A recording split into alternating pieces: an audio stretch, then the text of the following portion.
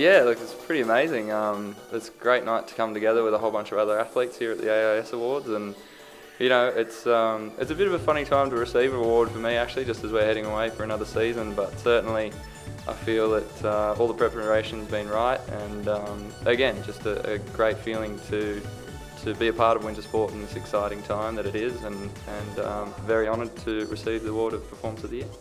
Oh, look, it was a great, a great, uh, great day and a great race. Um, yeah, I, I, was just uh, really at home on that course. I think I set the week up just the way I wanted.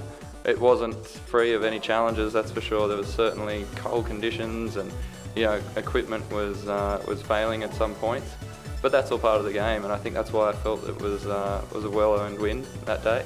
And um, and as well as that, all the all the top guys made the final. So it was a really hard-fought final at the end, right for the for the podium. And um, yeah, I, I, just I've got very fond memories of lifting that board above my head and, and knowing that I'd uh, successfully defended the title, which is a good feeling. And I guess you know uh, we get the perception down here in Australia that coming from Australia might be a disadvantage for us winter athletes, but you know, uh, looking at it from an outsider's, outsider's perspective or even my own perspective, which I often do, uh, there's not another team I'd prefer to be on, uh, and that is because of the support of the AIS and the OWI, um, which is you know, second to none. We have a strong team. I have all the support that I could wish for, and um, really at the end of the day, that allows me to feel confident that really the only thing left to do is go out there and get the job done myself, which as an athlete is the best way you can feel, I think.